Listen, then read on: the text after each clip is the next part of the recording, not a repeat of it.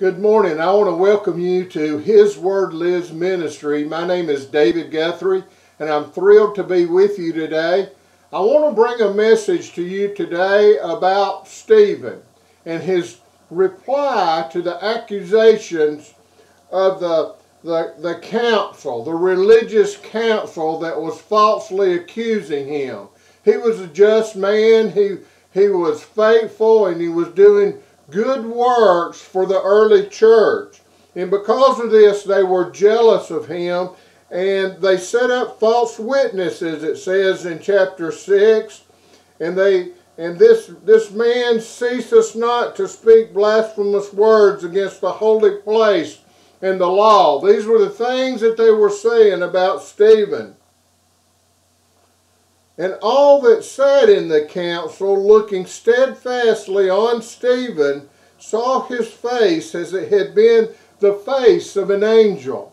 They saw something in this man that was different. They saw something in his face as if he was an angel. He must have been radiant. There must have been a certain look about him that the, the uh, that God showed his presence upon and in Stephen. Now we want to read this message in chapter 7 of Stephen's uh, council speech. And God's word says in Acts chapter 7, Then said the high priest, Are these things so?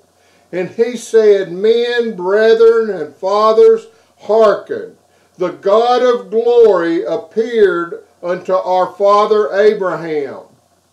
And he was in Mesopotamia before he dwelt in Charran, and said unto him, Get thee out of thy country and from thy kindred, and come into the land which I shall shew thee.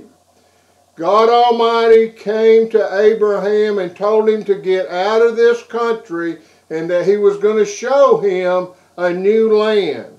Verse 4 Then came he out of the land of the Chaldeans, and dwelt in Charran.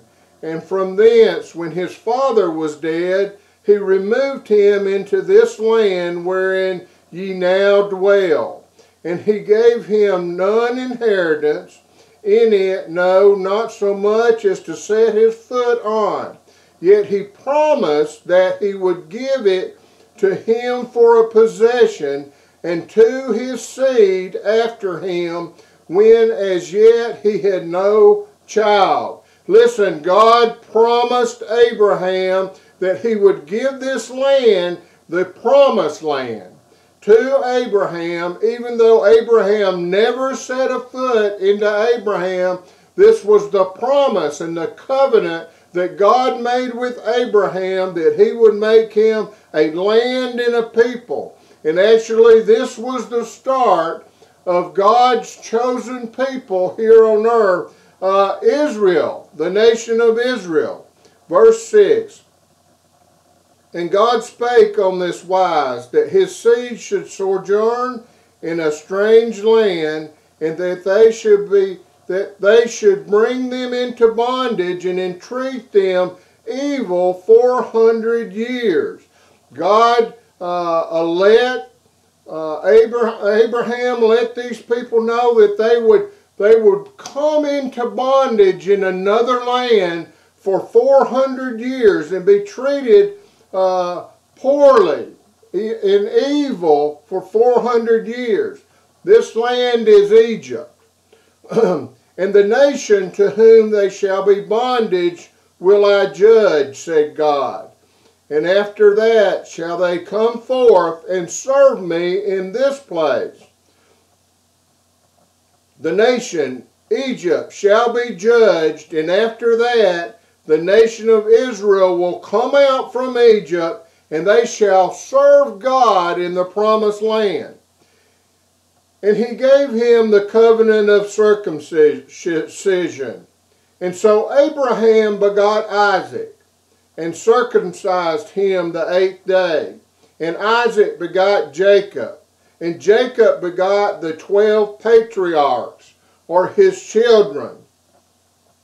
Now we see here how Joseph was sold by the patriarchs or his brothers. And the patriarchs moved with envy. They sold Jacob into Egypt, but God was with him and delivered him out of all his afflictions and gave him favor and wisdom in the sight of Pharaoh, king of Egypt. And he made him governor over Egypt and all his house. Now there came in dearth over all the land of Egypt and Canaan a great affliction, and our fathers found no sustenance. the fathers, the leaders of the nation of Israel at that time found no relief from a, fam- from a famine. But Jacob heard that there was corn in Egypt. He sent out our fathers first. And at the second time, Joseph was made known to his brethren. And Joseph, kindred, was made known unto Pharaoh. Then sent Joseph and called his father Jacob to him and all his kindred, three score and fifteen soul. Joseph called his father Jacob and his his his brothers and their entourage, and and, and in verse 15, and Jacob went down into Egypt and died, he and our fathers, and were carried over into Shechem and laid in the sepulchre that Abraham bought for a sum of money of the sons of Emor, the father of Shechem. Jacob was buried back in a place that Abraham had purchased, back in the promised land. They were he was Jacob was carried from Egypt all the way back into the promised land and buried. Verse 17 But when the time of the promise drew nigh, which God had sworn to Abraham, the people grew and multiplied in Egypt. Till another king arose which knew not Joseph. When the time come for God's promise of Israel, the nation of Israel, to come out of Egypt, another king had come into place. Things had grown and multiplied in Egypt. And that king knew not Joseph, or was not in favor and close with Joseph. The same dwelt subtly with our kindred, and evil entreated our fathers so that they cast out their young children to the end they might not live. This evilness included even the killing of the Hebrew children so that they would not continue to grow as, an, as a nation. Now we see here where God uses Moses to deliver Israel. In which time Moses was born and was exceedingly fair, and nourished up in his father's house three months. And when he was cast out for fear of being killed, Pharaoh's daughter took him up and nourished him for her own son. And Moses was learned in all the wisdom of the Egyptians, and was mighty in the words and in the deeds.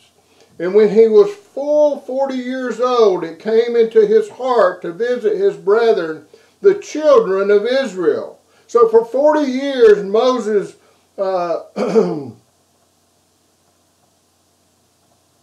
was being uh, a part and, and, and taking upon the great things of the nation of Egypt.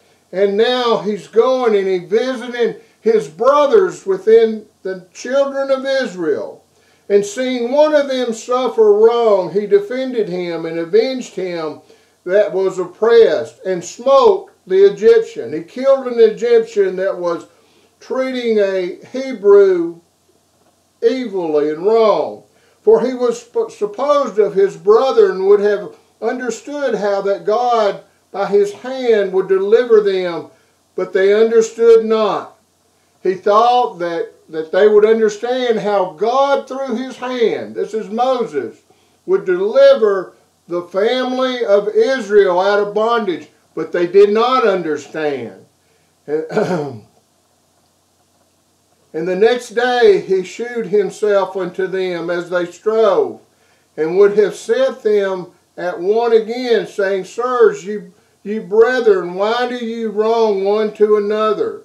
And he that did his neighbor wrong thrust him away, saying, Who made thee a ruler and a judge over us?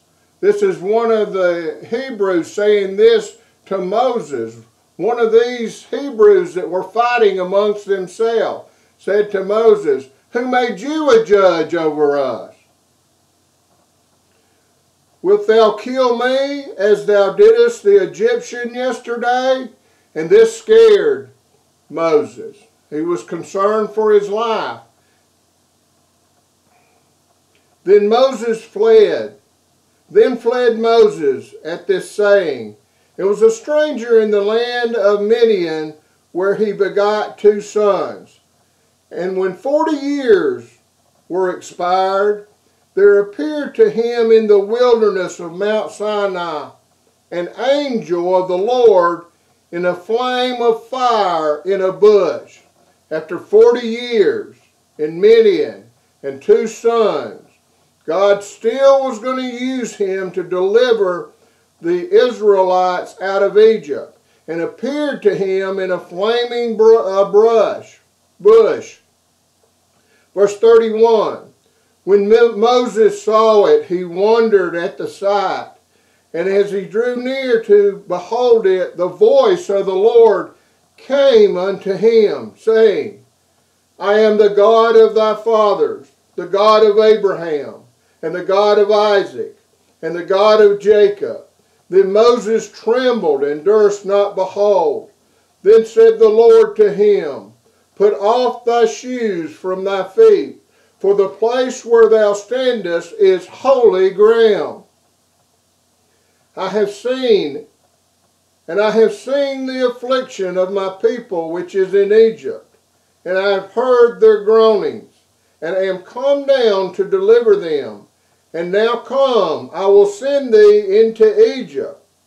This Moses, whom they refused, saying, Who made thee a ruler and a judge? The same did God send to be a ruler and a deliverer by the hand of the angel which appeared to him in the bush. He brought them out after that, he had shewed wonders and signs in the land of Egypt, and in the Red Sea, and in the wilderness forty years. We see here where God in the scripture, starting in verse 7, tells of raising up a prophet. He's talking about Jesus. Moses is talking about Jesus, prophesizing. This is that Moses which said unto the children of Israel, A prophet shall the Lord your God raise up unto you of your brethren, like unto me. Him shall ye hear. This is he that was in the church in the wilderness with the angel which spake to him in the mount in the Mount Sinai and with our fathers who received the lively oracles to give unto us. This is Jesus, an angel of the Lord, that was with Moses and gave Moses the oracles or the Ten Commandments to present to the Israelites after they came out of Egypt.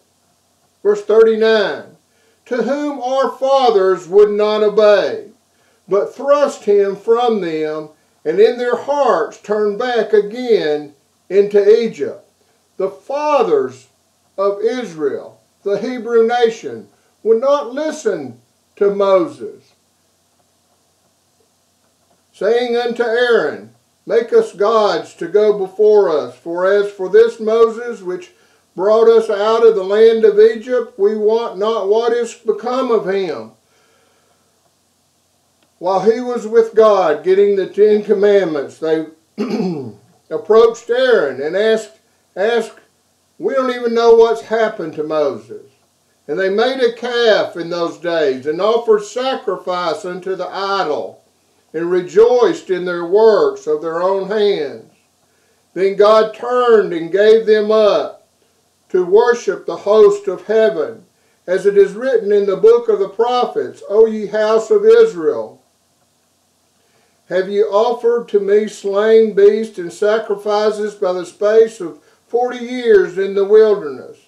Yea, took up the tabernacle of Moloch and the star of your god Remphan. They started worshiping these other gods, these Egyptian gods, figures which ye made to worship them, and I will carry you away beyond Babylon. Our fathers had the tabernacle of witness in the wilderness, and he had appointed, speaking unto Moses, that he should make it according to the fashion that he had seen. man had always wanted a place to put God. God don't need a place for man to put him. God's uh, uh, dwelling place cannot built, be built by the hands of men. Which also our fathers that came after brought in with Jesus into the possession of the Gentiles, whom God drave out before the face of our fathers unto the days of David who found favor before God and desired to find a tabernacle for the God of Jacob. But Solomon built him a house. Solomon built the temple, howbeit the Most High dwelleth not in temples, made with hands, as saith the prophet. Heaven is my throne, and earth is my footstool. What house will ye build me, saith the Lord? Or what is the place of my rest? Hath not my hand made all these things? and we see here, after Stephen is, is giving them this history and this, this background of, of how their fathers turned from God and Moses and the direction that God was giving them in their, their lives. And, and he accuses his accusers now. In verse 51, Ye stiff-necked and uncircumcised in hearts and ears, ye do always resist the Holy Ghost, as your fathers did, so do ye. Which of the prophets have not your fathers persecuted? And they have slain them which shewed before of the coming of the just one, of whom ye have been now partakers and murderers. Stephen tells them that they persecuted the ones that prophesies about the Holy One coming. And even them they have persecuted and murdered the just, Holy One, Jesus, Christ of Nazareth. They have killed him. whom have received the law by the disposition of the angels, have and have not kept it. Even though they've received the things of God, through, even through the help and disposition of the angels, they have not kept it. now I want to read this last part. This is the stoning of Stephen. This is the result of standing up before these wicked persecutors and ones that have persecuted God all down through the ages and continue to persecute God and His message out into the world even the gospel today. Verse 54 says, When they heard these things, they were cut to the heart and they gnashed on him with their teeth. But he, being full of the Holy Ghost, looked up steadfastly into the heaven and saw the glory of God and Jesus standing on the right hand of God and said, Behold, I see the heavens open and the Son of Man standing on the right hand of God. Then they cried out with a loud voice, stopped their ears, and ran upon him with one accord, and cast him out of the city, and stoned him. And the witnesses laid down their clothes at a young man's feet, whose name was Saul. Saul, the one that would persecute the church. Saul, the one that would be converted and saved into a child of God. And his name changed to Paul. And to go on and become one of the greatest evangelists that ever was.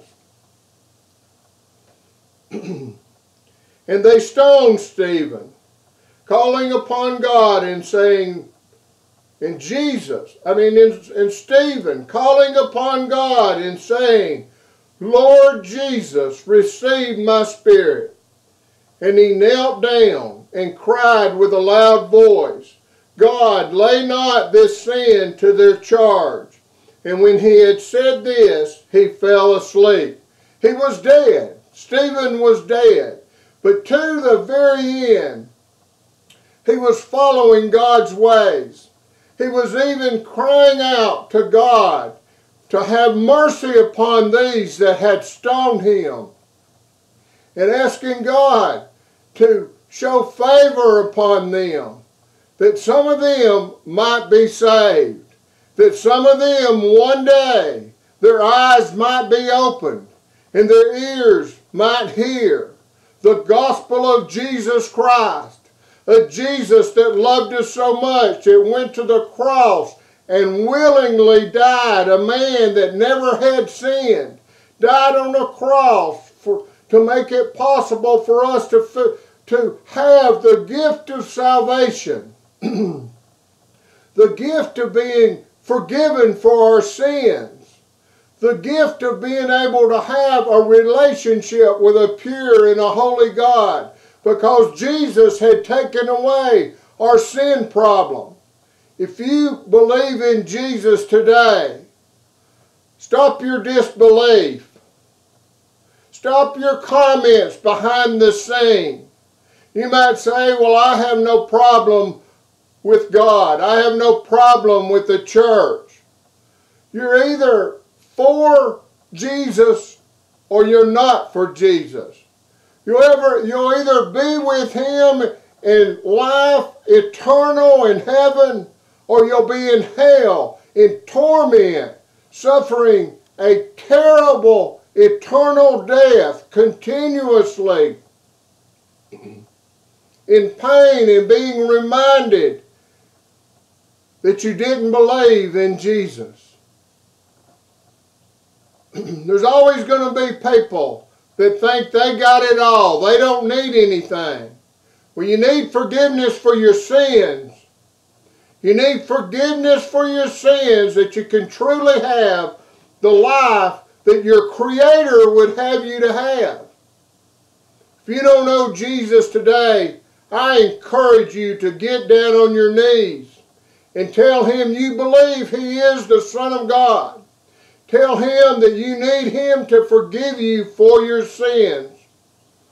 the scriptures tells us that whosoever calleth upon the name of Jesus shall be saved. Pray to him, talk to him, call out to him, and he'll save you.